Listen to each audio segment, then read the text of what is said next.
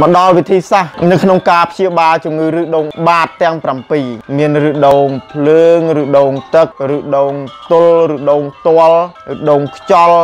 ឬដងវ័និងឬដងនិលនៅក្នុងឬដងបាតទាំង7ប្រភេទនេះបុរាណខ្មែរយើងមានការព្យាបាលតាមលក្ខណៈលាយឱសថនឹងសម្រាប់ដាំទឹកហូបយកទៅស្ពងវិធីខ្លះទៀតបុរាណខ្មែរយើងព្យាបាលឲ្យត្រាំ ដើម្បីដាច់ធ្លាក់ចេញមកតែម្ដងឬក៏បាញ់ទឹកថ្នាំបន្ទុនចូលឲ្យរលួយហើយយកឲ្យចាប់យកមកចេញមកតែម្ដងនេះគឺការដែលខ្មែរយើង មានបច្ចេកទេសមានការព្យាបាលតាមលក្ខណៈវិទ្យាសាស្ត្របុរាណទៅតាមក្បួនតម្រាឱសថបុរាណខ្មែរយើង ឬដងបាតនេះគឺប្រើថ្នាំស្ងោគឺមានប្រសិទ្ធភាពខ្លាំងមែនទែនថ្នាំថ្នាំស្ងោឲ្យថ្នាំត្រាំតែមិនបានត្រាំឲ្យបានថ្នាំស្ងោហូបគឺយើងប្រើរុក្ខជាតិជាឱសថចឹងការផ្សំខ្ញុំនឹងជម្រាបជូនដោយមិនលាក់ក្បួនលាក់ក្បាច់ទេ រូបមន្តក្នុងការផ្សំសម្រាប់ឬដងបាតទាំង7ប្រភេទនេះរុកការប្រើប្រាស់រុក្ខជាតិជាឱសថមានប្រយោជន៍ណាស់សម្រាប់សុខភាពលោកអ្នកកិច្ចចេញពីការចាយលុយច្រើនខ្ជះខ្ជាយហើយមួយទៀតជាជាដាច់មិនរើឡើងវិញតែត្រូវតមចំណីអាហារផងដែរអញ្ចឹងសម្រាប់អ្នកកើតឬដងបាតទាំង7ប្រភេទនេះមាន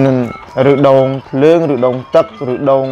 ទល់ឬដងទាល់ឬដងខ្យល់ឬដងវ័និងឬដងនិលអញ្ចឹង7ប្រភេទនេះលោកអ្នកត្រូវតែឈប់ ជាបតនការពិសាបារីត្រូវតែឈប់ដាច់ខាតឈប់ជាបតនអ្នកដែលចូលចិត្តហូបកាហ្វេកាហ្វេអាហារពនប្រើបានតែបើកាហ្វេខ្មៅលើទីផ្សារប្រើមិនបានទេនឹងបញ្ជាក់ឲ្យច្បាស់កន្លែងហ្នឹងតែអាហារពនប្រើបានបើតែលើទីផ្សារប្រើមិនបានទេវាមានជាតិជ័រច្រើនរឹតធ្វើឲ្យស្អិតពះពវៀនកាន់តែខ្លាំង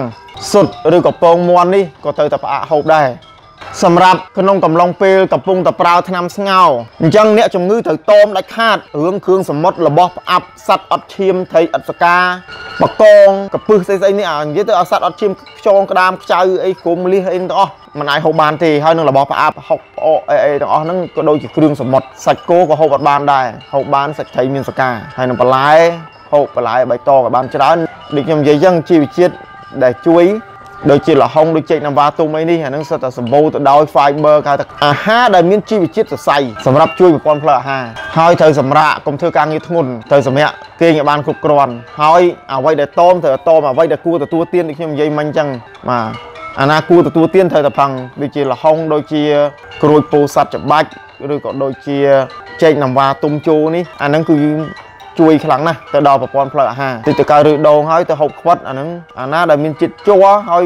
ចត់គឺវាកាន់តែធ្វើឲ្យធ្ងន់ធ្ងរអញ្ចឹងផ្លែឈើអាហារនេះយើងត្រូវរើសមុខទៀតដោយការទទួលទានអញ្ចឹងសាច់មិនចេះតែហូបទេហូបសាច់គោហូបអីច្រើនពងឲ្យកើតជំងឺហ្នឹងវារត់តែធ្វើឲ្យទល់លមួកកាន់តែខ្លាំងវាហើយវាឡើងអាស៊ីតវាអាចធ្វើឲ្យឈឺសន្លាក់ហ្នឹងកាន់តែខ្លាំងហើយ